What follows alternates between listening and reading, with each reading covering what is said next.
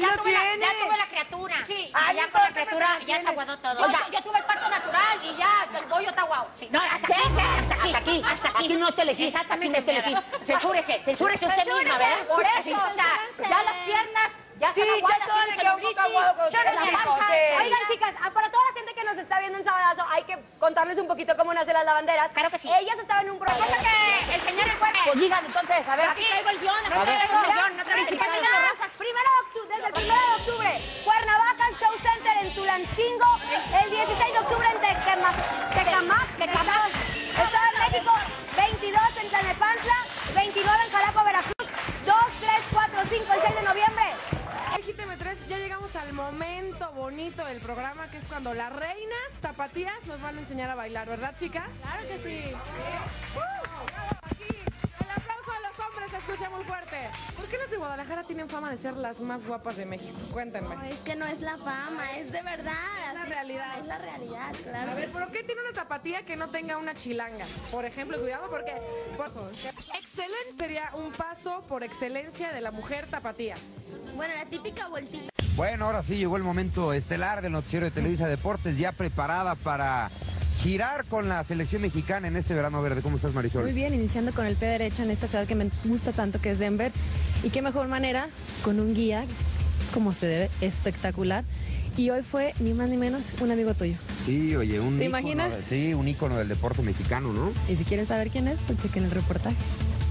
Bueno, ahora sí llegó el momento estelar del noticiero de Televisa Deportes, ya preparada para girar con la selección mexicana en este verano verde. ¿Cómo estás, Marisol? Muy bien, iniciando con el pie derecho en esta ciudad que me gusta tanto, que es Denver. Y qué mejor manera con un guía, como se debe, espectacular. Y hoy fue ni más ni menos un amigo tuyo. Sí, oye, un ¿Te ícono imaginas? sí, un ícono del deporte mexicano, ¿no? Y si quieren saber quién es, pues chequen el reportaje.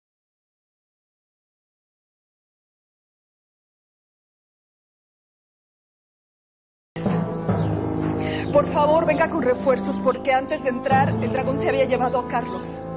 Gracias a Dios pudo escapar y está aquí conmigo. A ver, ¿qué pasó? Le voy a hablar a Salomón para que tome precauciones con Natalia. No vaya a ser que el dragón se escape y se convierta en un peligro para todos.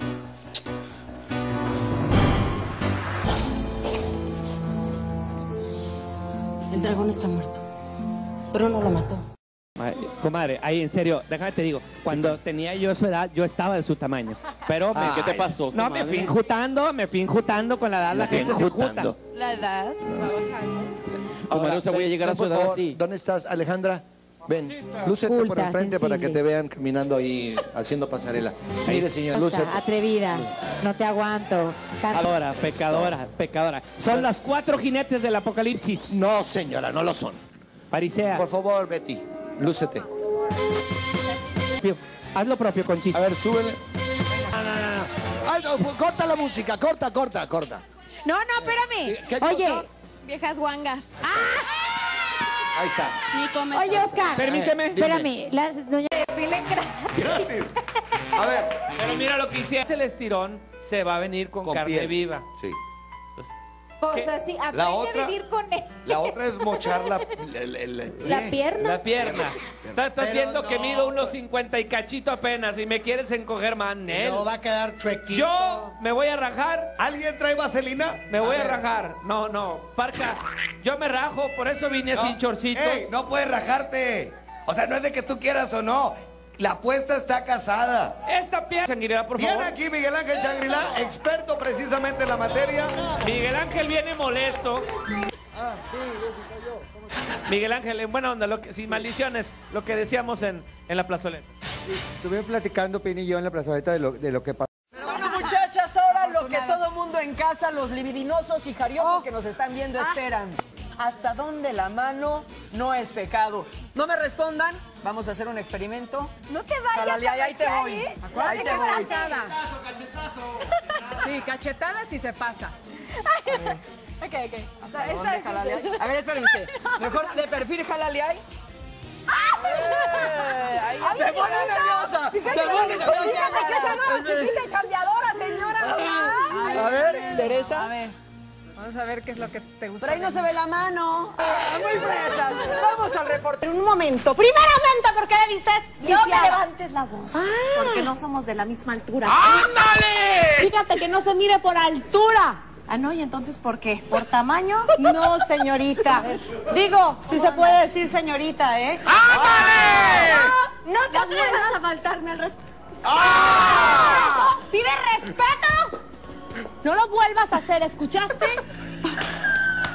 No sé yo, los efectos especiales. Va de nuevo, va de nuevo, muchachos. No me vuelvas a faltar al respeto. ¡Respeto! ¡Pide respeto! Así. Para pedir respeto tienes que respetar. momento, chicas. Ustedes no pueden estar peleando.